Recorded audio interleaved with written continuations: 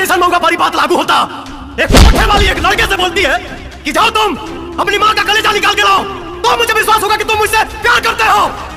वो लड़का जाता है और अपनी माँ का कलेजा निकालता है। घर से बाहर निकलते वक्त जब लड़के को चौकट पे चोट लगता है तो माँ के कलेजे से आवाज़ निकलती है कि, बेटा लड़का कलेजा उस कोठे वाली के पास लेके जाता है। तो वो कोठे वाली बोलती है कि, अरे भावा माधन शाह, जो तुमको पैदा किया जब तुम उसके नहीं हो सके तो मेरा क्या होगे मेरा क्या होगे Subscribe now and press the bell icon.